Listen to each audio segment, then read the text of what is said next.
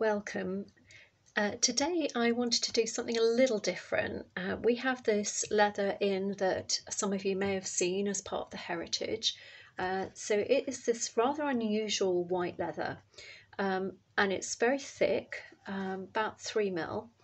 Uh, it's called alum. It's uh, tanned using aluminium salts, alum salts, um, and it's very, very traditional. It used to be its origins trace back to Egyptian times. Um, and we have some of this left in our heritage range, which we are selling in A3 pieces. Now, one of the reasons I like it is just it's very different. Um, it has this uh, sort of uh, snuffed surface. It's called snuffed and I forget the term now, but anyway, it's kind of got this kind of buffed surface, so it's soft to the touch. Um, and it just occurred to me, I was wondering how it would colour and everything. And I've been wanting to experiment a little bit with doing sort of watercolour on things. And I found this little really quick tutorial which I thought I'd give a try, and it came out so well, I thought I'd share it with you. Uh, so I've been doing these little baubles. So you can see here and the surface of this just takes this the colors i'm using the dyes but uh, the water-based stains sorry thinned down and it's just they're just coming up really well. Uh, so there's some others that i've done. And I did also try it on the uh, white because I know a lot of you have some of this white leather, the Eco Creamy White, the thinner uh, creamy white pieces. Um, this is just a sample that I just tried out, so I already had a bit of blue, so just ignore that bit. But uh, it came out quite well on that as well.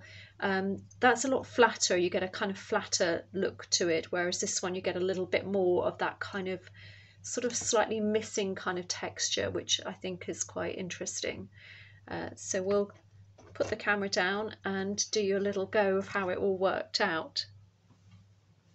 So the things that you will need to have handy a glass jar of water, a couple of paintbrushes. I've got kind of a wide one and a smaller one.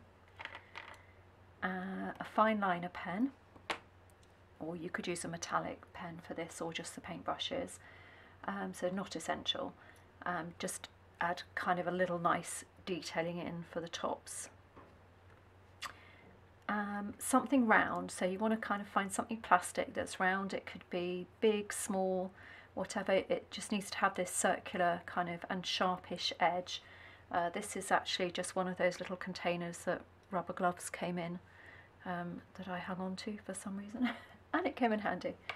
Um, so if you're using it, just make sure if you use this bit it doesn't squeeze too much otherwise you'll get an oval when you if you squeeze it whereas the lid is really bendy. Uh, so I'm going to go with this one for getting a nice perfect round circle. So for this we're going to use the alum which has this texture on it. Um, it's a little tricky when you're just using a small piece to see which is the right side because they're both snuffed. So just have a little look and see whether there's one side that you want to use and you you want kind of the smoother uh, sort of nap side so uh, you can probably see a little, I don't know if you can see actually very clearly on these small pieces but some pieces it will be very obvious um, which you're going to do. Uh, so I've poured in just neat, not diluted at all, a little bit of cranberry uh, identity water based stain and I've actually put a tiny bit of red in and I'm just moving them around the pot a bit uh, just so that they get a little bit of coverage over the base of the pot. And they're slightly mixed without over mixing so I should get a nice red and purple for this one so let's move those out of the way. So I'm going to press that into the center. I'm just going to hold it down just to pick up some of the colour like so and then I'm just going to position it. Hold it down just hold it for a moment or two allow the dye to colour pigment to go in Okay, that was quite a fine one, so I'm going to go again. There we go, got a bit more definition. And I think we'll have one up here.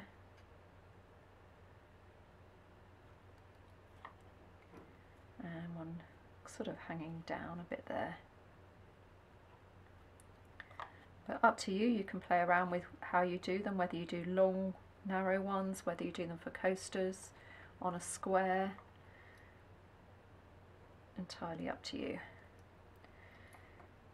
I am now going to get my water and I'm going to paint the water onto the inside of these baubles. Just going up to those edges. With these wide brushes you can sometimes pick out and pull in some of the dye from the edge as you're working. I always like to make it quite heavy with water on the right hand side and then leave it a little bit dry and light on the left.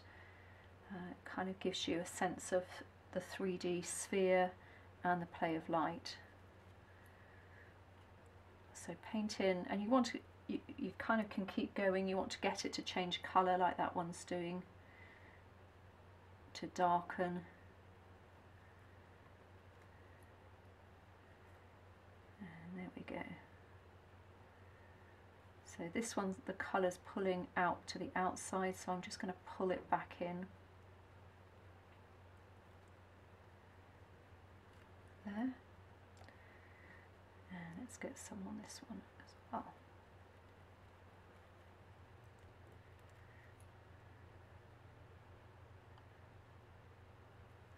Now once you've got these dyes and the water on, you can then pick up some of the dye. So again, I'm going to wet the brush because I literally just want the tiniest amount on the end of the brush. I've just literally dabbed it in and I'm going to start to pull it into that top water. So you can see there it's very, very pale. So where you want it to be darker, which is just where I want it, where the overlap is there. So this one is the forerunner. And then I'm going to pull out that colour and just pull it round into that wet area. I'm going to do a little bit more on the next one. So again, just take a bit of red that time from the edge. So I've got a little bit more, very subtle but distinctly different colour. Now if you get a little bit there that goes in a little heavier than you meant it to, just go back with the water and pull out that colour down.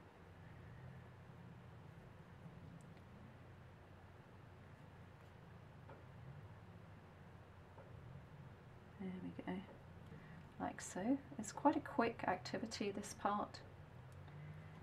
And I think I'm going to take a little bit of the purple into that edge there. There we go with that one, I'm happy with that. And this last one. You'll see as soon as you touch the brush down with the colour it starts to bleed, which is exactly what we want. It's the opposite of what we want to have happen in usual situations where we try and avoid this kind of bleed.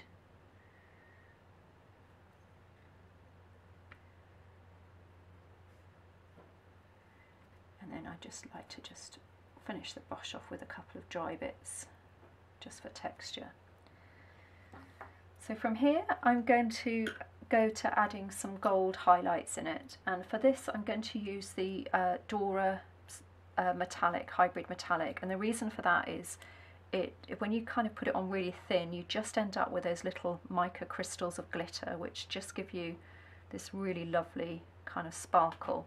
It's very, very sparkly paint, which is exactly what we need for this. So I'm going to work on it while it's still a little wet.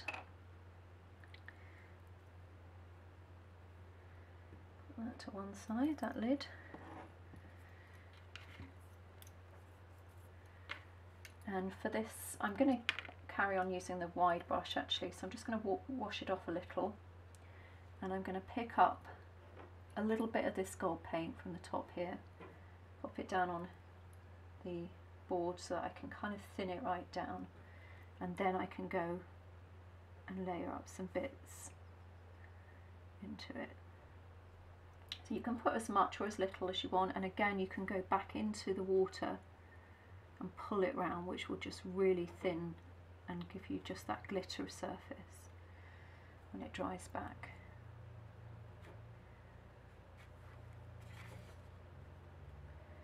So I guess the lesson of this kind of watercolour is lots and lots of water and less is more. You don't need very much colour, you don't need very much going on. And if you get an accidental bit of glitter like that, just work with it. That's coming out really nicely. And if there are any bits there where you've gone over with the gold, it's quite opaque and you want to bring back the darker colour you can still work because it's still wet you can still go back in and tint it. Tint it down there like so. Just before we stop I've got this gold this brush here with this length. I'm going to pick up a little bit of the gold paint again and I'm just going to take the paintbrush sideways on and pull up some lines, some hanging strings make them a little bit more gold.